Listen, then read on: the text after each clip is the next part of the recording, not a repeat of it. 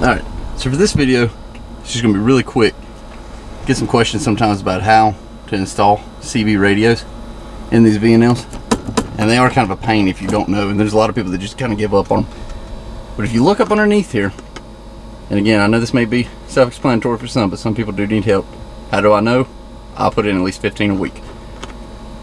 Right here, it's to be a Phillips head screw. And on the newer trucks, some of the newer model ones, you might have another one right there. Or right there.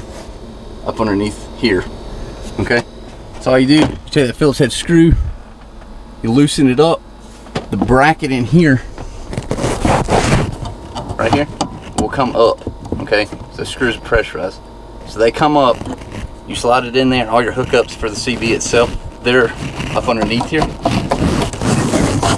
Show you. But all the hookups and everything else are right inside of there. Okay?